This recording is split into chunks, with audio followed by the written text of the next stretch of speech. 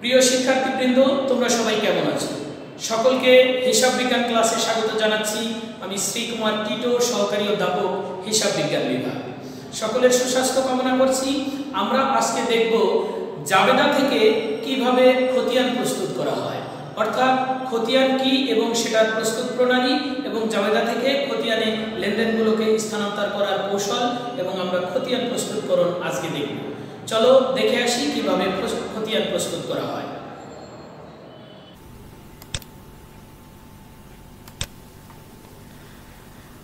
জাবেদা থেকে আমরা খতিয়ান প্রস্তুত করব। প্রথমেই আমরা গত ক্লাসে যে জাবেদাগুলো দেখেছিলাম, জহির অ্যান্ড সন্সের, সেই প্রশ্নটি আমরা দেখছি। উনিশশো, দুই সালের এক জানুয়ারি তারিখে তিনি দশ হাজার টাকা নগদ আসবাবপত্র, সাত হাজার পাঁচশো এবং দুই হাজার টাকার আইনের বই নিয়ে ব্যবসা শুরু করেন। রূপালী ব্যাংকে হিসাব খোলা হলো, আইন সেবা বাবদ প্রাপ্তি। আইন সেবা বাবদ অগ্রিম প্রাপ্তি, আইন সেবা প্রদান করা হয়েছে, বিল পাওয়া যায়নি। বেতন প্রদান করা হয়েছে, অবচয় ধরা হলো, তিন মাসের ভাড়া অগ্রিম প্রদান, আইন সমিতিতে চাঁদা প্রদান, আট তারিখের অগ্রিম প্রাপ্তি বাবদ সেবা প্রদান, অনাদায়ী পাওনা লেখা হলো এবং এক মাসের ভাড়া অগ্রিম মেয়াদ উত্তীর্ণ হয়েছে। এই লেনদেনগুলোকে আমরা জাবেদা করেছিলাম, যেমন জহিরের জাবেদা বইতে প্রথম জাবেদা লিখেছিলাম, নগদান হিসাব ডেবিট, আসবাবপত্র হিসাব ডেবিট, পুস্তক হিসাব ডেবিট এবং মূলধন হিসাব ক্রেডিট। এখানে চারটি হিসাব খাত হয়েছে। এখানে দুই তারিখে ছিল ব্যাংক হিসাব খোলা হলো, ব্যাংক হিসাব ডেবিট, নগদান হিসাব ক্রেডিট। তাহলে এখানে আরেকটি হিসাব খাত বৃদ্ধি পেয়েছে ব্যাংক হিসাব, কারণ নগদ এক তারিখেও ছিল, দুই তারিখেও ছিল। পাঁচ তারিখে নগদান হিসাব, ডেবিট সেবা, এই হিসাব ক্রেডিট কারণ নগদে সেবা প্রদান করা হয়েছে। অগ্রিম সেবা প্রদান করা হলো নগদান হিসাব, ডেবিট অনুপার্জিত সেবায় সেবা প্রাপ্য হিসাব, ডেবিট সেবা, হিসাব, ক্রেডিট কারণ বাকিতে সেবা প্রদান করা হয়েছিল। বেতন, ডেবিট, নগদান, ক্রেডিট কারণ নগদে বেতন প্রদান। অবচয়, ডেবিট পুঞ্জীভূত অবচয় কারণ অবচয় ধার্য করা হলো। অগ্রিম ভাড়া হিসাব ডেবিট, নগদান হিসাব ক্রেডিট, চাঁদা হিসাব ডেবিট, নগদান হিসাব ক্রেডিট, অনুপার্জিত সেবা হিসাব ডেবিট, সেবা হিসাব ক্রেডিট, অনাদায়ী পাওনা হিসাব ডেবিট, প্রাপ্য হিসাব ক্রেডিট এবং ভাড়া হিসাব ডেবিট, অগ্রিম ভাড়া হিসাব ক্রেডিট। এই জাবেদাগুলোর মধ্যে আমরা বিভিন্ন সময় বিভিন্ন হিসাব খাত দেখেছি, যেমন নগদান হিসাব, আসবাবপত্র হিসাব, মূলধন হিসাব, পুস্তক হিসাব, ব্যাংক হিসাব, চাঁদা হিসাব, অগ্রিম ভাড়া হিসাব। এইভাবে যদি আমরা গণনা করি এই ধরনের টোটাল কতগুলো হিসাব খাত রয়েছে, ততগুলো খতিয়ান হবে। এই অঙ্কটি বিশ্লেষণ করে আমরা মোট কতগুলো হিসাব খাত পেলাম, ততগুলো খতিয়ান। তাই প্রশ্নটি হলো, কতগুলো খতিয়ান হবে? যেমন নগদান হিসাব একটি, আসবাবপত্র হিসাব, পুস্তক বা বই হিসাব, মূলধন হিসাব, ব্যাংক হিসাব, সেবা আয় হিসাব, অনুপার্জিত সেবা আয় হিসাব, প্রাপ্য হিসাব, বেতন হিসাব, অবচয় হিসাব পুঞ্জীভূত অবচয় হিসাব, অগ্রিম ভাড়া হিসাব, চাঁদা হিসাব, অনাদায়ী পাওনা হিসাব এবং ভাড়া হিসাব। এই পনেরোটি হিসাব খাত সেখানে ছিল, অতএব পনেরোটি খতিয়ান হবে। নগদ একাধিকবার ছিল, তাই সমস্ত নগদ মিলে একটি হিসাব পুঞ্জীভূত অবচয় ছিল। তারপরে সেবা আয় ছিল একাধিক, ব্যাংক একাধিক ছিল এইগুলোর যতগুলো যেদিকে ছিল, কিন্তু ওই নামের জন্যে একটি খতিয়ান হবে। সেই হিসাবে মোট পনেরোটি খতিয়ান হবে। চলো দেখে আসি প্রথম খতিয়ানটি। আমরা যার হিসাব বহি সেভাবেই লিখব, কোন শখে করছি, চলমান জের শখ। তাহলে প্রথমে প্রতিষ্ঠানের নাম জনাব জহিরের খতিয়ান এবং প্রথমে আমরা নগদান হিসাব করছি। তাই খতিয়ানের ঘরটি করেছি। এক তারিখে আমাদের যে লেনদেনটি ছিল, নগদান হিসাব ডেবিট আর ক্রেডিটে ছিল মূলধন হিসাব। খতিয়ানের নিয়মই হলো, আমরা যে হিসাবটি করব সেটির নাম বসবে শিরোনামে, অর্থাৎ উপরে, যেমন নগদান হিসাব। এইবার আমরা দেখব তারিখ অনুযায়ী নগদ আছে কি না যদি থাকে, সেটি আমরা দেখব ডেবিটে না ক্রেডিটে আছে। যেমন এক তারিখে নগদ ছিল ডেবিটে, তাই আমরা টাকাটি লিখেছি নগদান হিসাবের ডেবিটে। আর বিবরণের ঘরে আমরা যে হিসাবটি করব সেটি যদি ডেবিটে থাকে, তার বিপরীতে অর্থাৎ ক্রেডিট দিকে কোন হিসাব খাতটি লেখা আছে, আমরা বিবরণে সেটি লিখব। যেমন এই নগদ ডেবিট ছিল দশ হাজার, আমরা হিসাব খাত ক্রেডিটে দেখেছিলাম মূলধন হিসাব লেখা ছিল, তাই আমরা এখানে লিখেছি মূলধন হিসাব। আর জের বা ব্যালেন্সে কি হলো? কোনো টাকাই আগে ছিল না, তাই প্রথমে যেহেতু দশ হাজার টাকা নগদে ডেবিট হয়েছে, এই দশ হাজার টাকাই ডেবিট ব্যালেন্স হলো। অর্থাৎ সামারিটা কি দাঁড়াল? যে যে হিসাবের খতিয়ান আমরা করব, সেই হিসাব খাত যেদিকে থাকবে সেদিকেই টাকা বসবে আর বিবরণে বসবে বিপরীত হিসাব খাতটি। অর্থাৎ ডেবিট থাকলে ক্রেডিট হিসাব খাত বিবরণে বসবে আর ক্রেডিট থাকলে ডেবিট হিসাব খাত বিবরণে বসবে। যেমন দুই তারিখে ছিল ব্যাংক হিসাব, ডেবিট, নগদান হিসাব, ক্রেডিট। তাই আমরা এই তিন হাজার টাকা ক্রেডিট দিকে বসিয়েছি, কারণ আমরা নগদান হিসাব করছি, আর বিবরণের ঘরে আমরা ব্যাংক হিসাব লিখেছি। এখন জেরটা কি হলো? আগে আমাদের এক তারিখে ডেবিট জের ছিল দশ হাজার, কিন্তু দুই তারিখে এসে ক্রেডিট হয়ে গেল তিন হাজার। তার মানে এই দশ হাজার টাকা থেকে তিন হাজার টাকা ক্রেডিট হওয়ার ফলে দশ হাজার থেকে তিন হাজার কমিয়ে আমাদের ব্যালেন্স দাঁড়াল ডেবিট দিকে সাত হাজার টাকা। তারপরে ছিল সেবা আয়ের জন্য পাঁচ তারিখে নগদান ডেবিট সেবা আয় হিসাব ক্রেডিট। তাই নগদ ডেবিট ছিল বলে নগদে আবার পাঁচ হাজার টাকা লিখলাম আর সেবা আয় ক্রেডিট এইটা এখন বিবরণের ঘরে লিখলাম।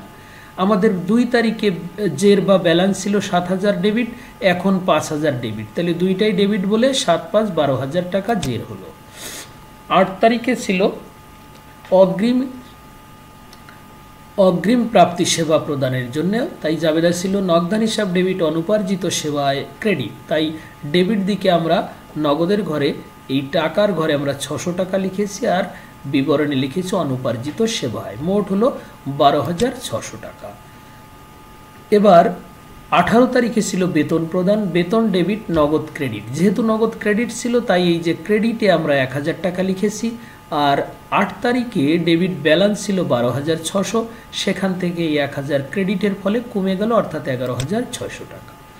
বাইশ তারিখে ছিল অগ্রিম ভাড়া প্রাপ্তি, অগ্রিম ভাড়া ডেবিট নগদান হিসাব ক্রেডিট, তাই এখানে আমরা ক্রেডিট দিকে তিন হাজার টাকা লিখেছি আর অগ্রিম ভাড়া হিসাব লিখেছি বিবরণের ঘরে।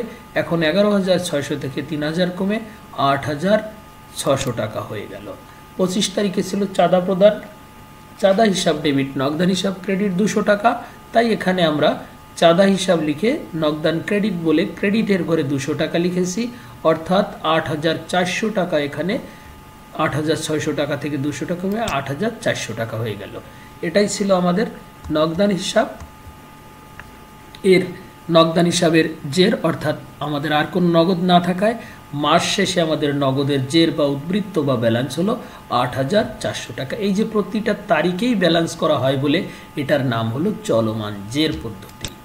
পরে আমাদের ছিল আসবাবপত্র হিসাব, আর আসবাবপত্র পুরা প্রশ্নটায় একটি আইটেমই ছিল এক তারিখে। আসবাবপত্র ডেবিট ছিল আর মূলধন ক্রেডিট ছিল। তাই এই আসবাবপত্র হিসাব ডেবিট দিকে সাত হাজার পাঁচশো লিখেছি কোনো কিছু না থাকায় ব্যালেন্স বা জিরো সাত হাজার পাঁচশো ডেবিটে আর বিবরণের ঘরে মূলধন লেখা হয়েছে।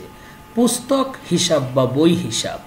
এটাও ডেবিট দিকে ছিল। পুস্তক হিসাব ডেবিট দুই হাজার পাঁচশো, তাই আমরা এখানে দুই হাজার পাঁচশো লিখেছি জেরেও দুই হাজার পাঁচশো লিখেছি, আর মূলধন হিসাব ক্রেডিটে থাকায় আমরা মূলধন হিসাব বিবরণের ঘরে লিখেছি। তারপরে ছিল মূলধন হিসাব। মূলধন হিসাব ক্রেডিটে ছিল, কিন্তু ডেবিট দিকে ছিল তিনটি আইটেম, নগদান হিসাব আসবাবপত্র হিসাব এবং পুস্তক হিসাব।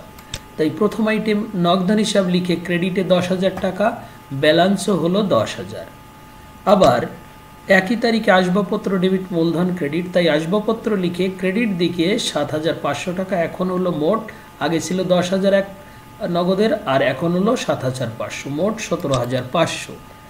এবং পুস্তক হিসাব ডেবিট ছিল আর মূলধন ক্রেডিট ছিল আড়াই হাজার টাকা তাই এখন এই আড়াই হাজার টাকা ক্রেডিট লিখে এখানে লিখেছি পুস্তক হিসাব।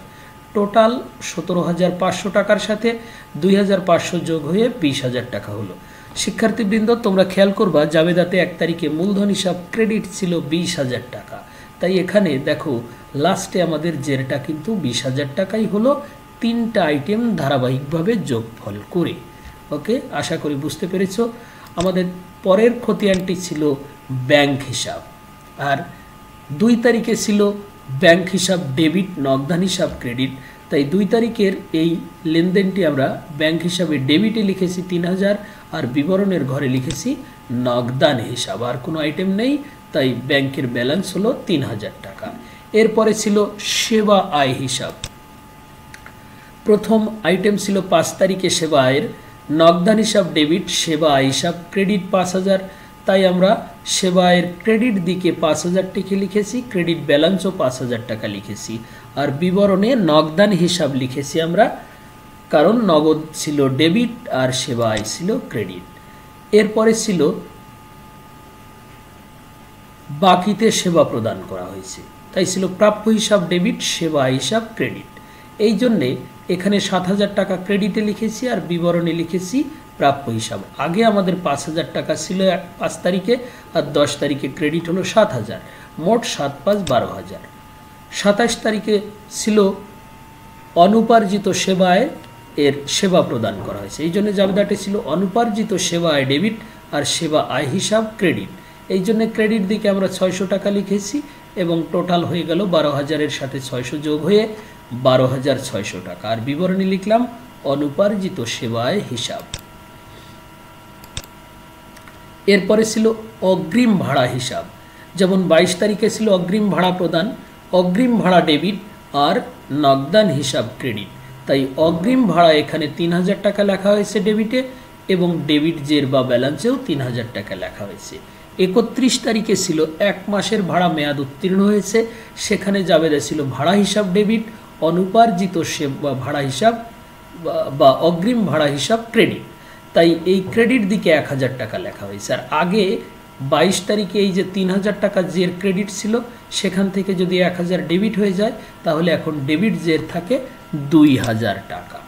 চাঁদা হিসাব পঁচিশ তারিখে ছিল আমাদের চাঁদা প্রদান, অর্থাৎ চাঁদা হিসাব ডেবিট নগদান হিসাব ক্রেডিট তাই ডেবিট দিকে এই দুইশো টাকা লেখা হয়েছে, আর বিবরণের ঘরে নগদান হিসাব লেখা হয়েছে। ডেবিট দিকে দুশো টাকা লেখা হয়েছে মানে ডেবিট জের বা ব্যালেন্স হলো দুশো টাকা। অনুপার্জিত সেবা আয় হিসাব। আমাদের প্রথমে আট তারিখে ছিল অগ্রিম বা অনুপার্জিত সেবায়। সেখানে আমরা জাবেদা লিখেছিলাম, নগদান হিসাব ডেবিট, অনুপার্জিত সেবা হিসাব ক্রেডিট। তাই ক্রেডিট দিকে আমরা ছশো টাকা লিখেছি, ক্রেডিট ব্যালেন্সেও ছশো টাকা লিখেছি। এরপরে সাতাশ তারিখে ছিল অনুপার্জিত সেবায়, সেবা আয় হিসাবে গণ্য হয়েছে বা সেবা প্রদান করা হয়েছে। সেখানে জাবেদা ছিল আমাদের যে অনুপার্জিত সেবায় ডেবিট আর সেবা আয় হিসাব ক্রেডিট। তাই এখানে অনুপার্জিত সেবা আয় হিসাবে ডেবিটে আমরা ছশো টাকা লিখেছি আর সেবা আয় হিসাব লিখেছি বিবরণের ঘরে। শিক্ষার্থীবৃন্দ, খেয়াল করো, আগের আট তারিখে ক্রেডিট দিকে আমাদের ব্যালেন্স ছিল ছয়শো টাকা। এখন যেহেতু ডেবিট দিকে ছয়শো টাকা হয়ে গেল, তাই ডেবিট এবং ক্রেডিট মিলে ব্যালেন্স আর কিছুই থাকল না। অর্থাৎ এখানে ব্যালেন্স জিরো। তারপরে প্রাপ্য হিসাব। দশ তারিখে ছিল বাকিতে সেবা প্রদান এবং জাবেদা ছিল প্রাপ্য হিসাব, ডেবিট, সেবা, হিসাব, ক্রেডিট। আমরা যেহেতু প্রাপ্য হিসাব করছি, তাই ডেবিট দিকে আমরা লিখেছি প্রাপ্য হিসাবে সাত হাজার টাকা আর ডেবিট ব্যালেন্স বা জেরেও লিখেছি সাত হাজার টাকা আর বিবরণী লিখেছি সেবা আয় হিসাব। উনত্রিশ তারিখে ছিল অনাদায়ী পাওনা ধার্য করা হলো। অনাদায়ী পাওনা হিসাব ডেবিট, সেবা আয় হিসাব অনাদায়ী পাওনা হিসাব ডেবিট, প্রাপ্য হিসাব ক্রেডিট, এটা ছিল জাবেদা এবং টাকার পরিমাণ ছিল পাঁচশো টাকা। যেহেতু এই জাবেদায় প্রাপ্য হিসাব ক্রেডিট, তাই আমরা এখানে ক্রেডিট দিকে পাঁচশো টাকা লিখলাম। আর আগে দশ তারিখে আমাদের ব্যালেন্স ছিল এই যে সাত হাজার টাকা, এই সাত হাজার ডেবিট ছিল, এখন পাঁচশো টাকা ক্রেডিট হয়ে গেল। তাই বিয়োগ করে ব্যালেন্স দাঁড়াল ছয় হাজার পাঁচশো টাকা। বেতন হিসাব আঠারো তারিখে ছিল বেতন প্রদান, বেতন হিসাব ডেবিট আর নগদান হিসাব ক্রেডিট। তাই এই ডেবিট দিকে বেতন হিসাবে আমরা লিখলাম এক হাজার টাকা, ডেবিট ব্যালেন্সেও লিখলাম এক হাজার টাকা। আর বিবরণের ঘরে লিখলাম নগদান হিসাব। এরপরে অবচয় হিসাব। আমাদের বিশ তারিখে ছিল অবচয় হিসাব ডেবিট আর পুঞ্জীভূত অবচয় হিসাব ক্রেডিট। তাই আমরা ডেবিট দিকে এখানে লিখেছি পাঁচশো টাকা এবং ডেবিট ব্যালেন্সেও লিখেছি পাঁচশো টাকা। আর বিবরণের ঘরে বিপরীত যে হিসাব খাত ছিল পুঞ্জীভূত অবচয় হিসাব, সেটি লিখেছি। শিক্ষার্থীবৃন্দ, পুঞ্জীভূত অবচয় হিসাব, এর পরেরটি। সেখানে ছিল অবচয়, ডেবিট, পুঞ্জীভূত অবচয় হিসাব, ক্রেডিট। তাই আমরা এই যে পুঞ্জীভূত অবচয়ের ক্রেডিট দিকে পাঁচশো টাকা লিখেছি, ক্রেডিট ব্যালেন্সেও পাঁচশো টাকা লিখেছি। আর বিবরণের ঘরে লিখেছি অবচয় হিসাব। অনাদায়ী পাওনা হিসাব উনত্রিশ তারিখে ছিল। অনাদায়ী পাওনা হিসাব ডেবিট, প্রাপ্য হিসাব ক্রেডিট। তাই অনাদায়ী পাওনার ডেবিট দিকেই আমরা পাঁচশো টাকা লিখেছি, ডেবিট ব্যালেন্সেও পাঁচশো টাকা লিখেছি। আর বিবরণের ঘরে লিখেছি প্রাপ্য হিসাব। অর্থাৎ অনাদায়ী পাওনার বিপরীতে এটি ছিল। লাস্ট খতিয়ানটি আমাদের ভাড়া হিসাব। ভাড়া হিসাবে ছিল ভাড়া হিসাব ডেবিট, অগ্রিম ভাড়া হিসাব ক্রেডিট এক হাজার টাকা। তাই ডেবিট দিকে আমরা লিখেছি এক হাজার টাকা ভাড়া হিসাবে আর ডেবিট ব্যালেন্সেও এক হাজার টাকা লিখেছি এবং বিবরণের ঘরে লিখেছি অগ্রিম ভাড়া হিসাব। আশা করি এই খতিয়ানগুলি দ্বারা তোমরা চলমান জের পদ্ধতিতে খতিয়ান বুঝতে পারবে। শিক্ষার্থীবৃন্দ, কোনো প্রশ্ন থাকলে সংশ্লিষ্ট বিষয় শিক্ষক অথবা আমার ফোন নম্বর, ইমেইল নাম্বারে তোমরা আমাদেরকে প্রশ্ন করতে পারো। তোমাদের সকলকে নিরন্তর